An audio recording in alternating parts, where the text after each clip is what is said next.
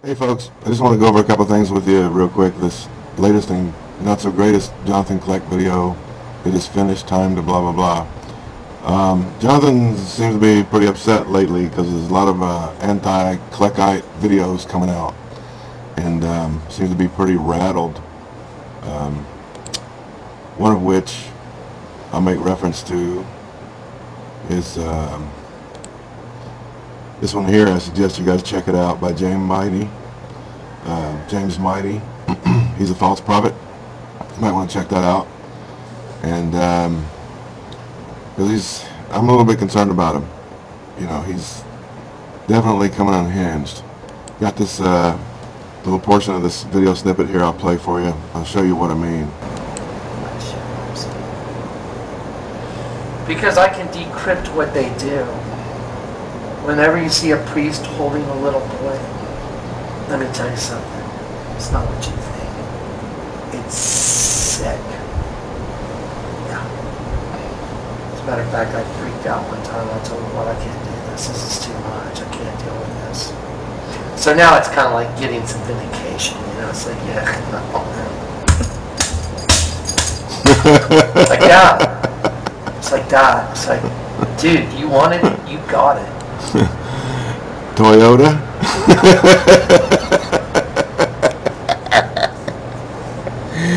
you know, Jonathan, maybe this just should go pound sand instead, you know, because you are, I gotta say, you're the all-time greatest YouTube false teacher. Hands down. Nobody even comes close to you, man. Um, first of all, not every Catholic priest is a pedophile. All right? But, you know, I'm sure you'll, you'll argue with me because you just said when you see, you know, anytime you see a whole priest, uh, a Catholic priest holding a kid, that uh, it's not what you think. And then that nice thing you did, that's, that's kind of creepy. Maybe you do have a little serpent blood in you. just saying, man. Just saying. Uh, but then, uh, okay, so then we got another one. Oh, I wanted to ask you about this since you're into decoding stuff. In the back of your bandana here, what's what's this demon face doing on the back of your bandana? Check that out, folks. Jonathan Kleck, False Prophet by uh, the Velvet Cult. And, um, I mean, you can see it clear as day right there. I don't know. Let's see. Maybe I can highlight a couple things for you here. Right there. Also over here, I see another face. It's like the devil and a couple of horns to me. Just saying, right there. So maybe, maybe you can explain that one to us, Jonathan. Why in the world you got a demon or Baphomet on the back of your head? You know, you, you do videos and you talk about, um, um, you know, Obama and what he's got on the back of his head. Let's talk about yours, man. Turn those accusatory fingers pointing back at yourself. Please, please let us know. Explain that one, would you? And then last but not least, um, you're looking pretty creepy here, Jonathan. I mean, look at that, man. I don't, you know, I, it's like something in a horror movie. Look, ooh. I don't know, Jonathan. But, um, I'll get to the point here. Going back and starting here.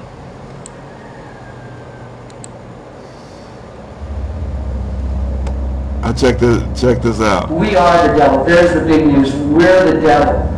Where's the last place you look for the devil? In the mirror. That's the last place you look. We are children of the devil. Just like it says in the Bible, it says, you are children of your father, the devil.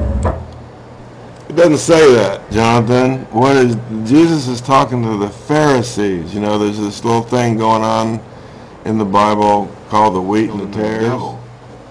Okay? I've explained this to you before, so pay attention this time.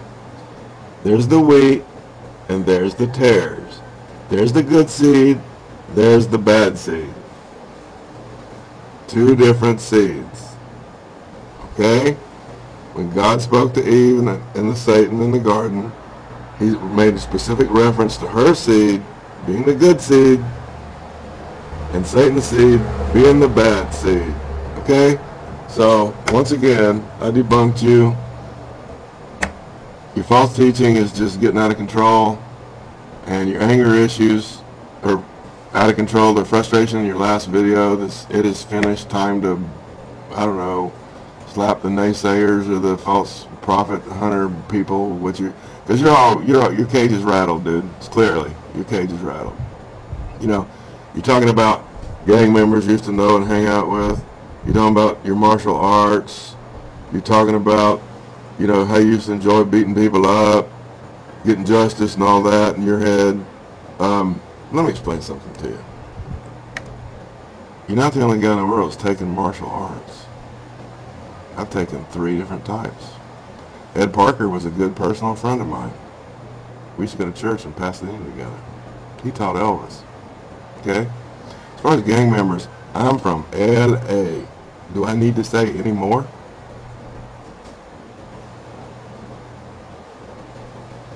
I know all kinds of people. I've been in all kinds of homes because I used to have a service company. Right? So stop threatening people. You banned me from your channel saying I was a bully and uh, abusive or something to that nature. And, uh, you know, but you're threatening people. I'm not intimidated, dude. Anybody else in their right mind won't be either. I rebuke you in the name of the Lord Jesus Christ. You're a false teacher. You're leading people to hell with your Gnostic gospel. Repent. Time is short. And it doesn't take a rocket scientist to know that uh, New York is going to get hit. They did it before. Why wouldn't they try it again? It's the financial hub of America. If you were the enemy, where would you try to hit? You ain't that bright, Jonathan. Those that follow you aren't that bright either. Okay? Have a good day.